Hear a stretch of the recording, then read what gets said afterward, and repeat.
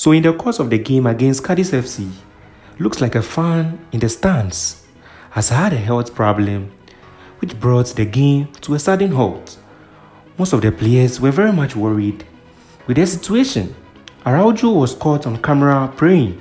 We hope that he or she is fine and wish him a speedy recovery. Coolest, here is the latest one. Hit the sub button and look forward to more. Adios.